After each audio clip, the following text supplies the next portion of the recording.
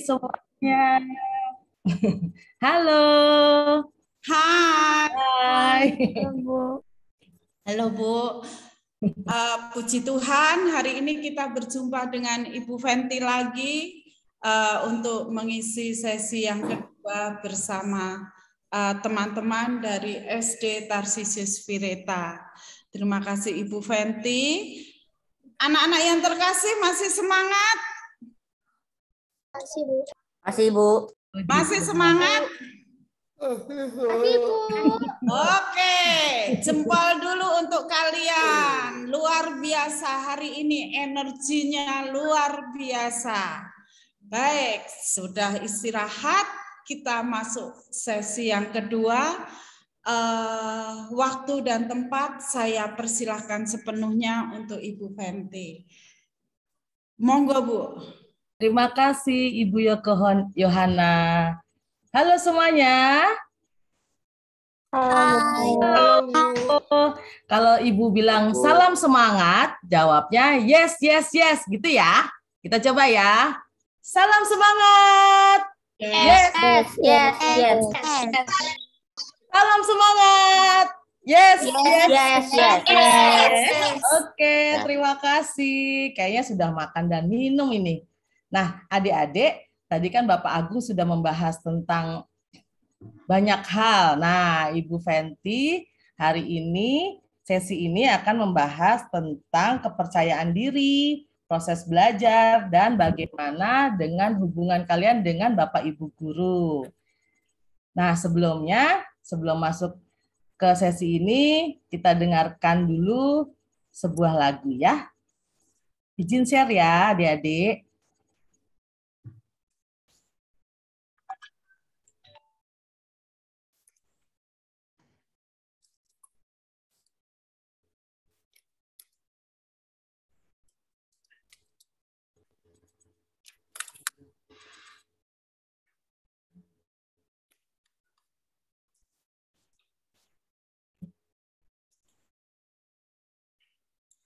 Bentar.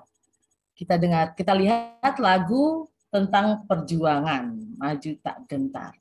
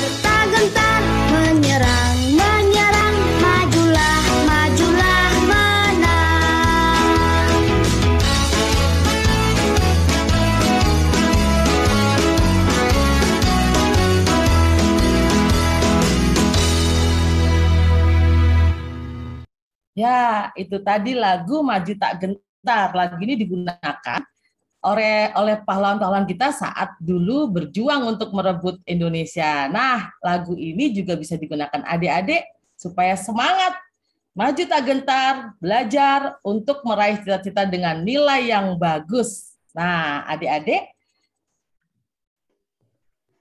Ibu akan sesi ini akan membicarakan tentang kepercayaan diri dan aktif di kelas. Kenapa sih kita harus percaya diri? Kenapa sih harus aktif di kelas? Nah, itu nanti kita lihat ya adik-adik. Nah, Ibu ada satu lagi nih video untuk kalian. Bentar ya.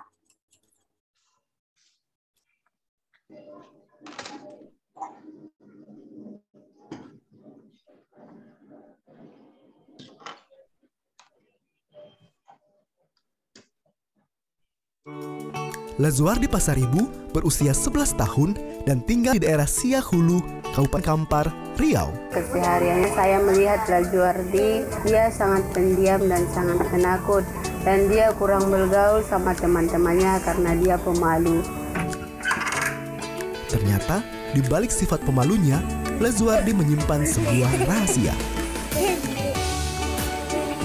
Saya sangat sedih, marah, dan malu ketika teman-teman saya mengejek saya bahwa badan saya kecil. Tidak hanya di rumah saja, namun sifat pemalu Lazuardi juga tampak ketika dia berada di sekolah minggu. Dan setiap saya menyuruh dia maju ke depan atau memuji Tuhan, selalu, selalu dia menangis.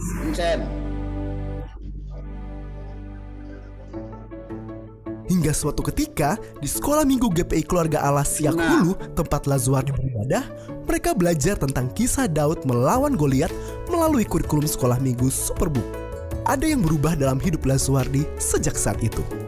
Ketika saya melihat Daud kecil mengalahkan dan membunuh Goliat dengan seorang diri, saya menjadi lebih berani dan bisa memimpin teman-teman saat berdoa dan saya juga melayani Tuhan. Sebelum dia pergi ke sekolah, dia berdoa dan sesudah dia pulang sekolah, dia berdoa dan sekarang dia sudah melayani di gereja sebagai pemain drum. Kini, tidak ada lagi rasa malu dan rasa tidak berani dalam hidup Lazuardi. Saya berharap dan berdoa teman-teman yang mengalami seperti saya bisa berubah.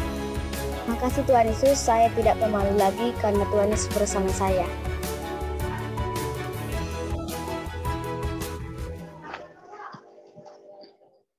Nah, adik-adik yang terkasih, tadi ngeliat kan bagaimana Lazuardi berubah dari pemalu menjadi seorang yang percaya diri. Nah, adik-adik, coba Ibu mau dengar bagaimana, oh ada Marcel. Marcel, kenapa Marcel tulisannya dicoret-coret? kenapa Marcel? Sebentar. Nah, ini aja. Bu, tadi videonya putus-putus Bu di saya Bu patah-patah. Oh, patah-patah. Iya. Kalau begitu Ibu ceritakan ya. Jadi ada seorang anak bernama Lazuardi. Dia itu anak yang kurang percaya diri, dia sangat pemalu. Nah, Lazuardi ini lalu dia ke gereja uh, dan dia di, dibully oleh teman-temannya karena dia kecil. Nah, hal itulah yang menyebabkan dia tidak percaya diri. Lalu dia di gereja itu uh, mendapat cerita tentang Daud dan Goliat. Nah, di saat itulah dia menjadi anak yang lebih percaya diri karena Daud seperti itu. Nah, adik-adik tadi yang bisa lihat uh, videonya mungkin bisa cerita uh, apa yang bisa didapat dari cerita uh, cerita Lazuardi ini. Siapa yang ingin berpendapat? R9, Bu. Oh ya, R9. Iren. Iren, silakan Iren. Uh, meskipun kita kecil, kita harus tetap hmm? berani dan oh. untuk melawan yang besar. Good. Cepolnya Iren. Ada lagi Iren? Sudah? Uh, menjadi kecil kayak gitu karena kita itu sesama manusia. Ya, bagus Iren. Good. Sekarang ada yang resen ini Carmelia, Carmelia Lioli 6D R1 mau berpendapat? Silakan Carmelia. Eh, walaupun kita punya kekurangan, tapi kita harus tetap percaya diri. Betul, betul sekali. Kita harus percaya diri walaupun kita punya kekurangan. Nah, selanjutnya jempol dulu buat Camelia. Siapa lagi? Reshe? Betul.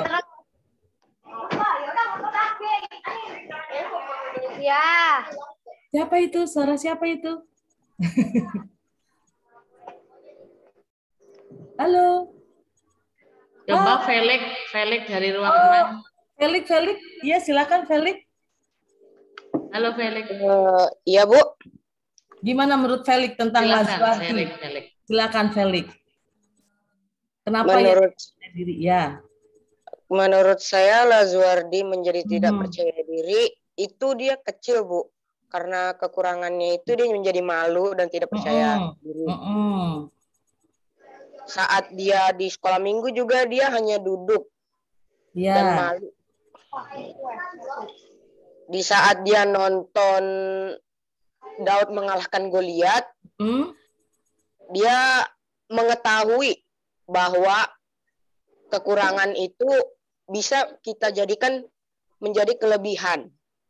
Betul. Jadi si Lazuardi ini setelah mengetahui bahwa dia mempunyai kelebihan, dia menjadi percaya diri kembali.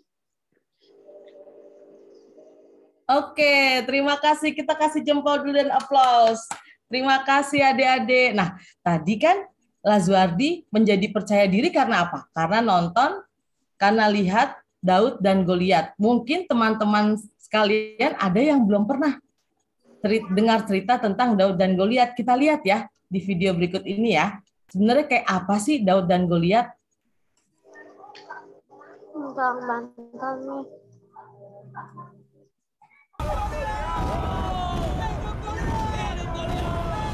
Ibu, kau ke dalam tanganku.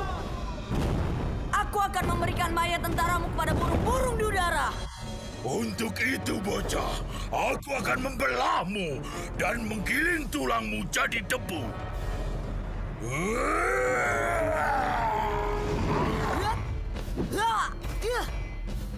Diamlah, supaya aku bisa membunuhmu. Tidak, pertempuran ini milik Tuhan. Engkau tidak akan melukaiku hari ini.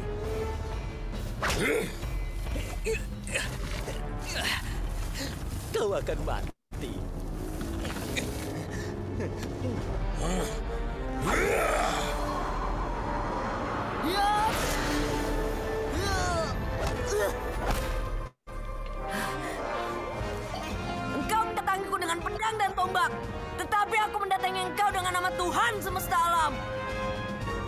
Tuhanmu lemah.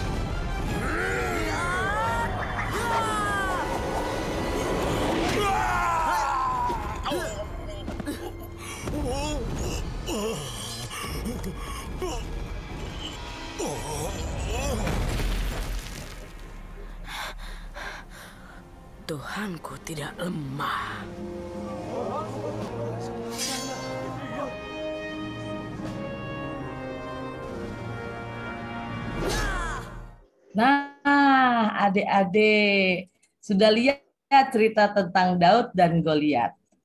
Ada yang mau bercerita? Apa yang menyebabkan Daud bisa percaya diri? Coba, siapa? Raise hand dulu. Siapa yang mau bercerita, adik-adik? Dari R9, 9, Bu.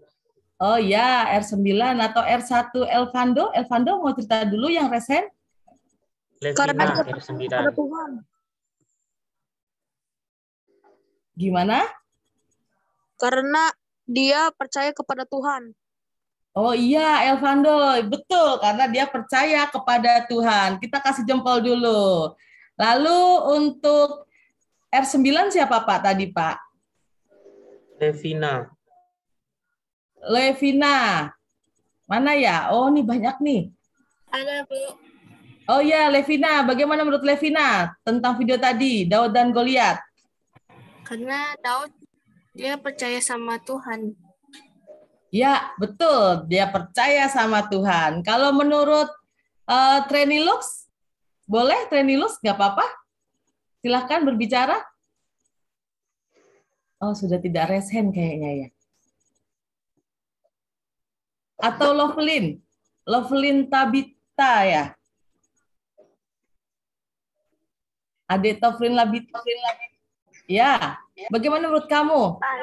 tentang Daud dan Goliat. Kenapa dia percaya diri Daudnya? Karena Daud percaya Tuhan memberi kemampuan. Good. Lalu ada lagi kenapa Goliat bisa kalah? Lalu Lovelyn? Goliat sombong. Karena Goliat sombong. Eh, good. Papanya ikut Zoom ya. Kita kasih jempol. Lalu ada Hans Samuel. Hans Samuel, bagaimana menurut kamu Hans? Karena Daud percaya bahwa Tuhan akan melindungi dia. Iya, betul. Dari sisi Goliat gimana Hans? Goliat karena karena Goliat mendatangi Daud, mengalahkan Daud dengan kemampuannya sendiri, sementara Daud mengalahkan dengan kekuatan Tuhan. Wah, super sekali. Good. Nah, satu lagi tadi Elin. Elin kayaknya raise hand juga ya, Elin ya? Nggak apa-apa, Elin. Silakan berpendapat, Elin. Elin ada pendapat lain kah tentang cerita ini? Daud dapat menang karena Daud berpegang teguh kepada Tuhan Yesus. Iya, sayang. Dan dapat percaya diri karena Tuhan, dia percaya bahwa Tuhan Yesus akan selalu melindunginya. Betul sekali. Tepuk tangan dan jempol untuk teman-teman kita yang sudah berpendapat. Terima kasih ya. Lalu uh, selain itu Daud juga memang percaya bahwa Tuhan kita itu kuat. Tuhan itu juga percaya diri. Tuhan itu baik untuk dia, makanya dia mau melawan Goliat yang besar walaupun peralatannya banyak. Dan betul sekali, Goliat itu adalah orang yang sombong, mengandalkan diri sendiri tanpa mengandalkan Tuhan kita. Nah, selanjutnya tolong dituliskan di kertas kalian, adik-adik,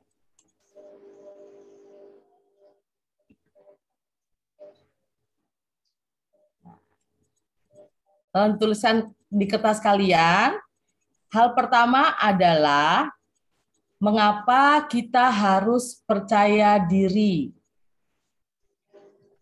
Hal yang kedua adalah apa yang menyebabkan kalian tidak percaya diri. Jadi tadi di cerita yang pertama di Lazuardi tadi, kenapa dia tidak percaya diri? Karena dia pernah diejek oleh temannya, dan dia dikatai karena dia kecil seperti itu. Nah, menurut kalian masing-masing apa sih yang menyebabkan kalian tidak percaya diri? Nah, itu ditulis. Lalu yang ketiga adalah bagaimana mengatasi keadaan saat kalian tidak percaya diri.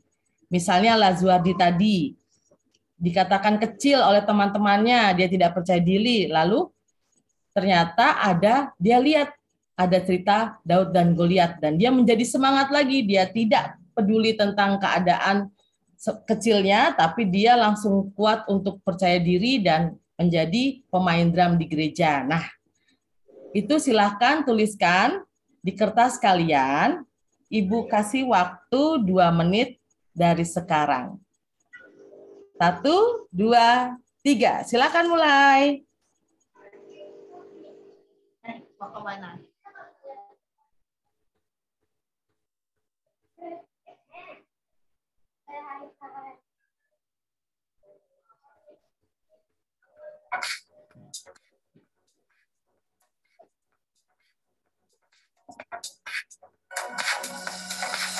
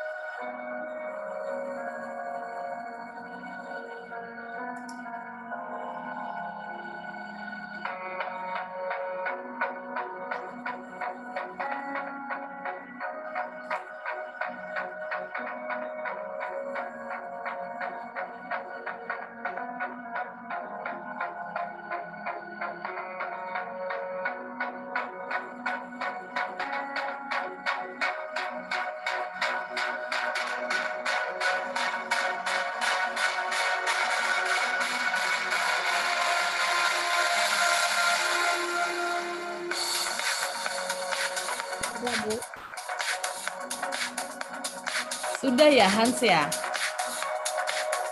Sebentar ya, tunggu teman-teman yang lain ya sayang.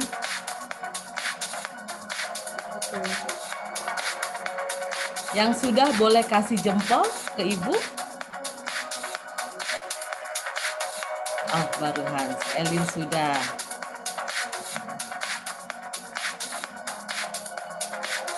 Siapa lagi? Sebentar lagi ya.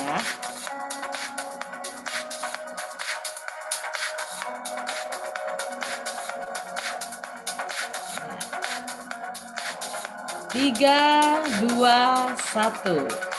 Ya, selesai. Adik-adik, tadi tulisan tadi yang kalian buat nanti akan diseringkan ke dalam kelompok. Nah, di situ adik-adik bisa sharing seperti apa mengatasi kepercayaan diri kalian bersama teman-teman dan Bapak Ibu guru. Silakan Bapak admin untuk memecah kelompok. Saya beri waktu 10 menit. Terima kasih.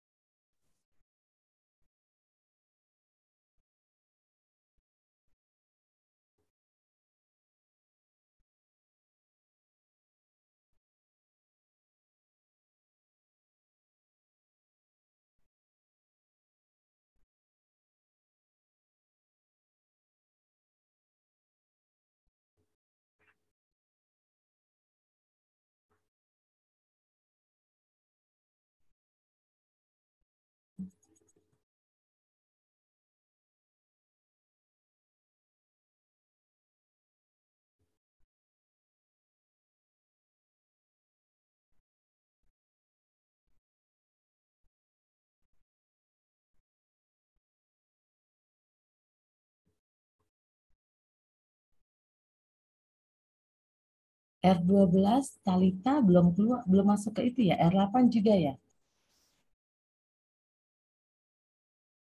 R2 juga belum masuk. Bella, Bella, Brian, Ori, bentar ya.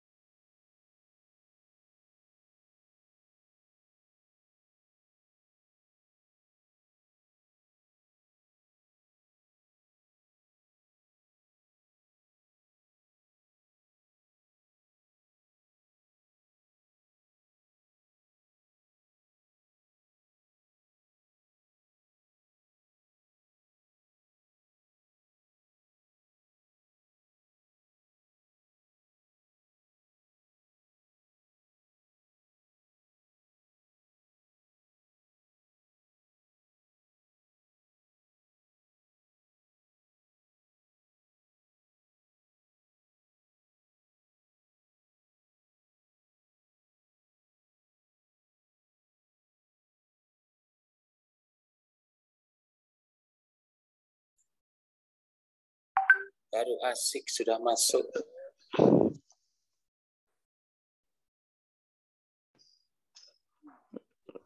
Halo.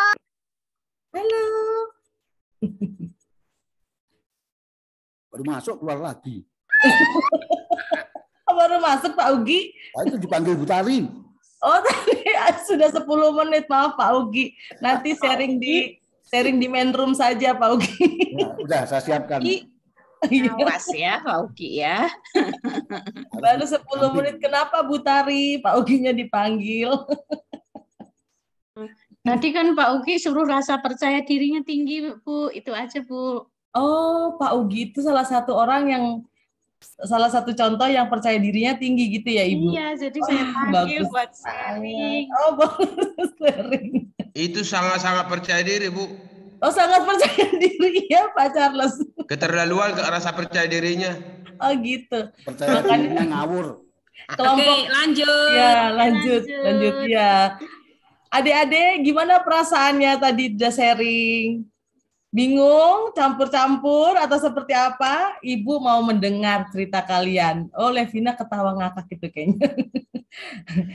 Ibu ingin mendengar lima orang untuk sharing di main room. Kalian tadi bagaimana sih sharing di kelompok kecilnya? R1. R1. R1 siapa, Pak? R1 bisa siapa saja. Elvando bisa. Oh, siapa R1? Raise hand, please. R1. Raise hand. Siapa R1? R10? Elvando. R4. R2, Oh. Bu. R2. R5 juga ada orang. Ayo, siapa? Oh, Elvando dulu. Elvando dulu. Kita lihat yang share hand lebih da raise hand terlebih dahulu ya. Elvando, silakan sharingnya gimana tadi, Nak? Om, mengapa kita harus percaya diri? Hmm. Em, kita tidak percaya diri, kita tidak Nah, bisa. wajahnya diliatin. Nah. Hah, gantengnya. Kata katanya Terus nggak muat. apa yang menyebabkan kalian tidak percaya diri? Em, yang menyebabkan saya tidak percaya diri adalah dibandingkan. Dibanding. Oh, dibanding-bandingkan dengan orang lain ya? Iya. Begitu? Oh, ya. Oke. Lalu apalagi Elvando? Eh, Oh, cara baga- mengatasinya seperti apa? Eh, kalau saya kita harus percaya kepada Tuhan agar tidak malu-malu atau percaya atau tidak percaya diri. Eh, Iya. Elvando biasanya dibandingkan dengan siapa? eh, teman. Oh, dengan teman. Nggak apa-apa, Elvando. Nanti kalau udah dibandingkan, Elvando sebenarnya bisa lihat kelebihan dari teman Elvando seperti apa. Nanti kalau bisa lihat kelebihannya, kita ikutin saja supaya kita sama seperti dia. Ya nggak, Elvando? Terima kasih, Elvando, sharingnya. Ada-ada yang lain? R7 Bu, R7. R7 siapa, Bapak? Davidita.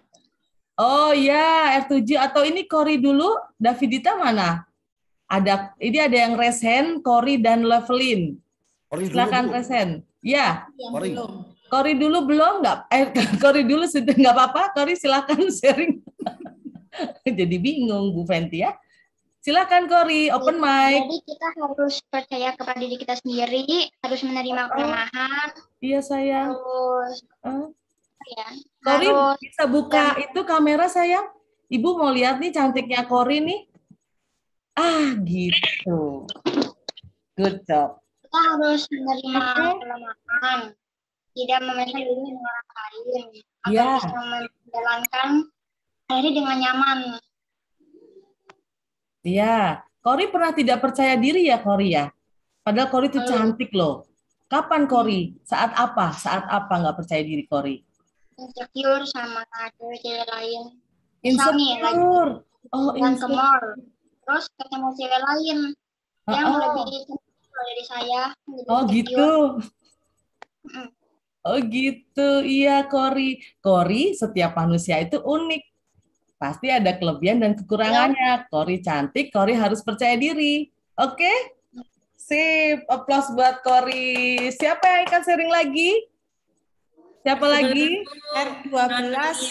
R11, R12. Ada Bara ya Ibu ya? Iya. Betul ya, Adik Natalia. Siapa? Natalia Ibu. Oh Natalia, oke Natalia dulu. Iya Natalia silakan. Open mic sayang. Natalia.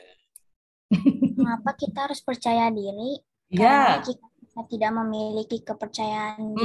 diri, maka kita cenderung malu dan kurang memiliki teman karena cenderung memiliki sifat tertutup pula. Apa yang menyebabkan kalian tidak percaya diri? Karena ma- pernah mengalami pengalaman yang buruk. Bagaimana mengatasi keadaan saat kalian tidak percaya Mhm. diri? Iya. Berhenti membandingkan dengan orang lain. Oke Natalia, kamu eh, pengalaman buruknya apa yang bikin kamu tidak percaya diri? Coba Ibu ceritakan lebih detail lagi. Apa Natalia? Contohnya seperti apa? Pengalaman buruk apa yang pernah kamu alami?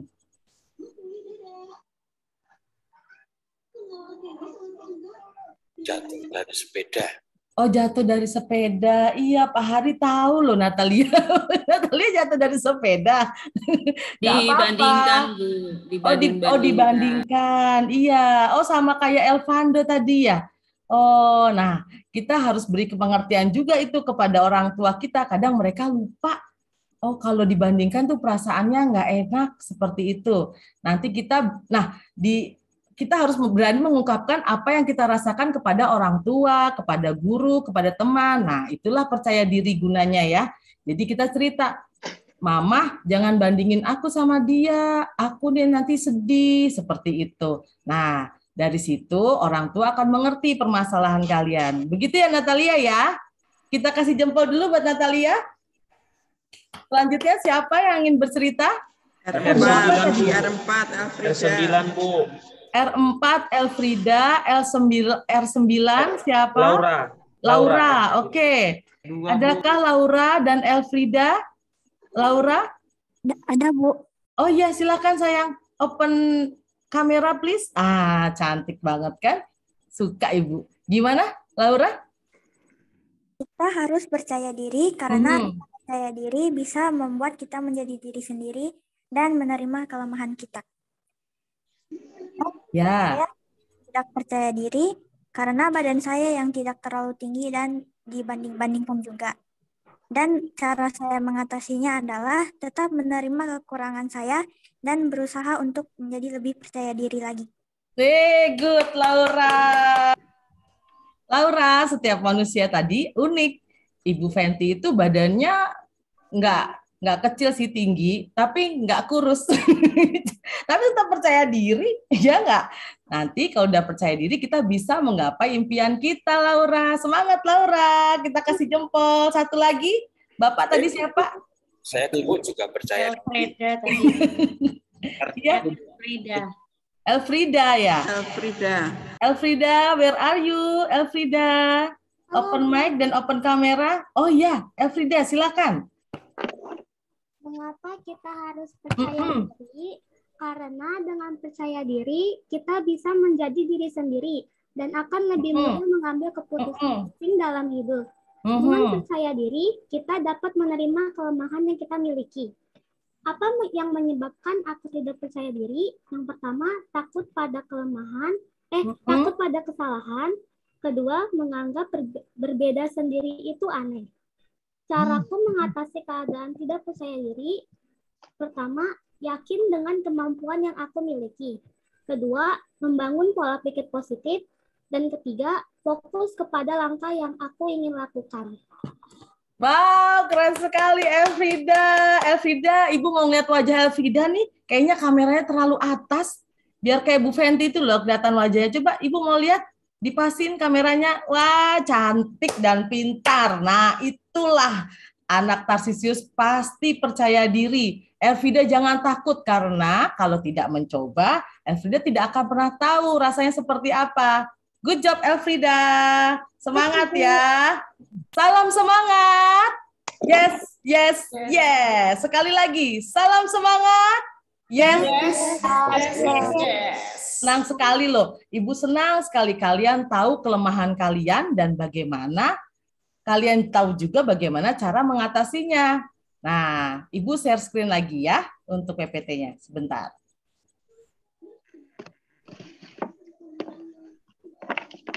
Nah, tadi kita diskusi bersama-sama dan kita udah lihat bagaimana kalian diskusi, kita masuk ke sesi berikutnya. Kepercayaan diri itu sangat penting untuk kalian, apalagi di dalam prestasi belajar dan mengajar. Nah, sebelum masuk ke sesi berikutnya, Ibu punya game ini. Nah, kalian bisa lihat kan ada kata-kata yang acak-acakan nih di sini nih. Coba, Ibu pengen tahu, kalian bisa cari nggak kata-kata bahasa Indonesia? Adaptasi, Bu. Ya, siapa tadi belum belum selesai kasih instruksi ada pinter-pinter ini anak narsisius ibu jadi minder. Apa sayang? Adaptasi. Adaptasi. Adaptasi, good. Ada lagi? Efektif. Poster. Poster. Kronologi. Ya. Adopsi. Ada. Adopsi. Ada. Bu. Terjemahan. Baca. Efektif. Kronologi. Efektif. Kronologi. Kronologi.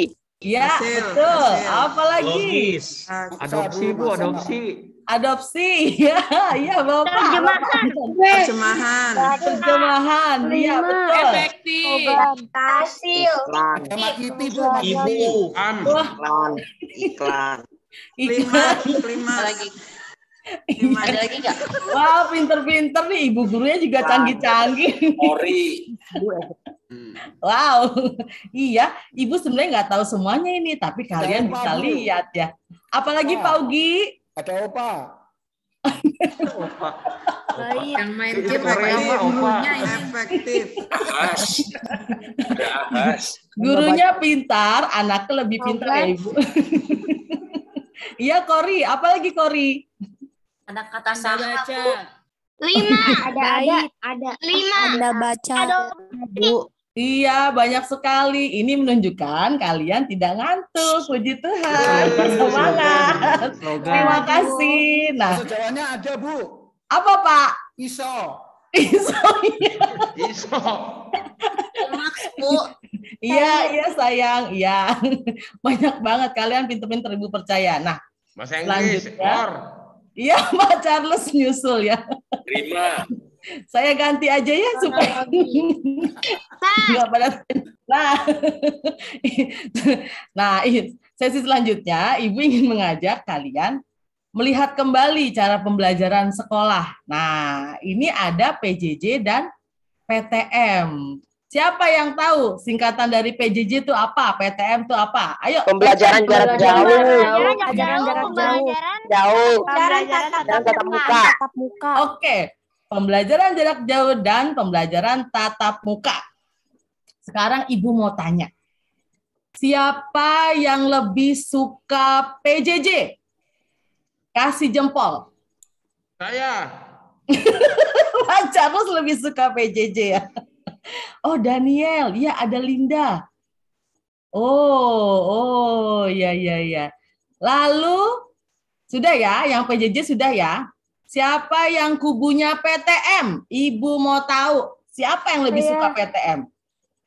Wah, ternyata lebih banyak PTM ya yang suka ya. Iya, soalnya nggak bingung ya. Oke, di sini ibu akan Ketemu sedikit. teman. Oh iya. Oke, ibu. Dapat jajan. Ah, itu dia. Banyak hal yang bisa didapat dari PJJ dan PTM. Nanti kita akan bandingkan ya. Setelah ini kita lihat dulu nih, ada video nih. Nah, video ini menceritakan kakak yang berpendapat tentang PJJ dan PTM. Kita lihat dulu ya.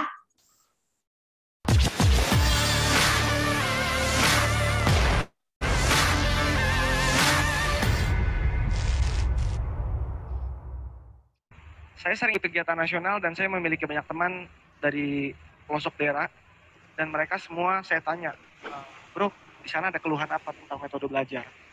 Dan ternyata yang dari Gorontalo, yang dari di Lampung, mereka pun memiliki keluhan yang sama. Eh, mereka ada kendala di pertama di gadget, yang kedua di kuota, yang ketiga sinyal, dan di sana sering mati lampu, Bu. Itu kendala banget. Memang kita beruntung kita di Jakarta kalau menurut saya.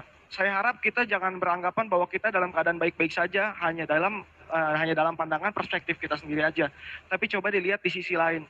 Masih banyak di Indonesia ini yang bermasalah kalau menurut saya.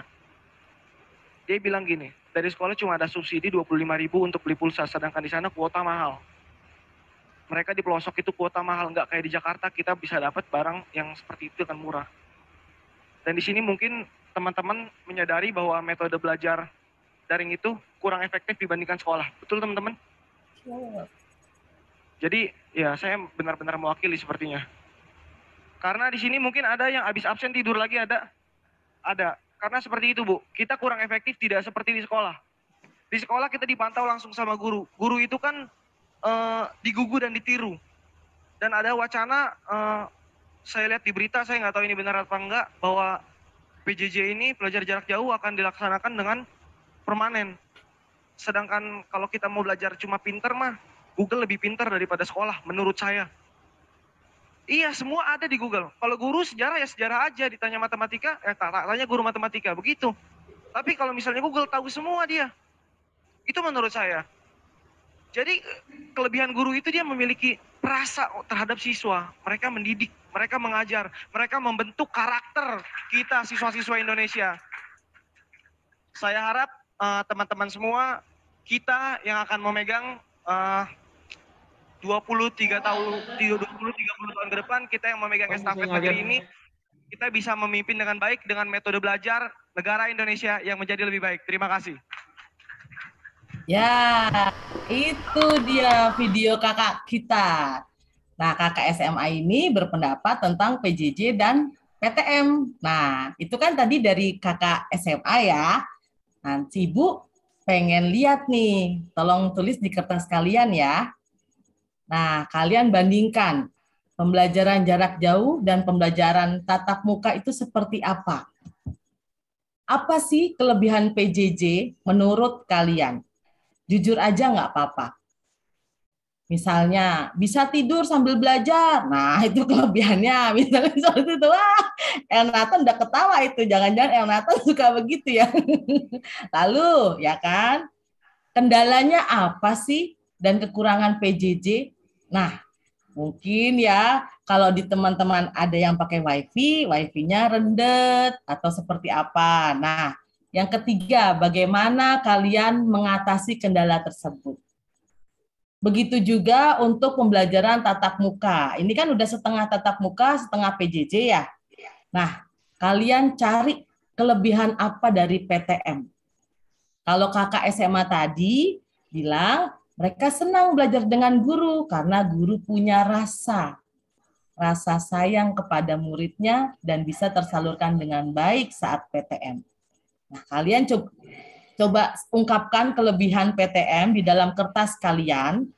Lalu apa kendala dan kekurangannya PTM? Ya, mungkin rasa takut karena masih ada COVID atau seperti apa. Nah, bagaimana mengatasi kendala tersebut? Oke, sudah dipikir, ditulis, Ibu kasih waktu sekitar tiga menit untuk menulis pertanyaan-pertanyaan ini ya. Kita mulai dari sekarang.